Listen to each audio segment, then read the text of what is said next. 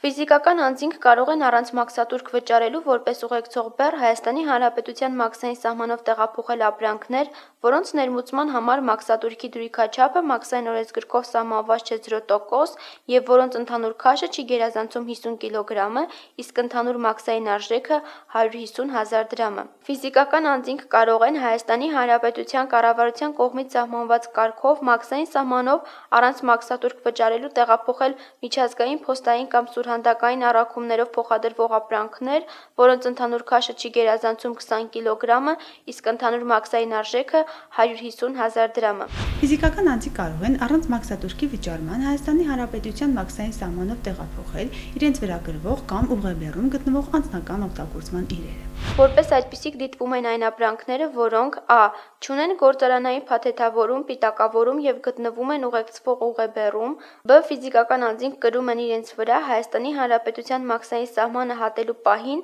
բացառությամբ մաքսային օրենսգրքի 105 հոդվածի 3-րդ կետի համաձայն սահմանված ապրանքատեսակների։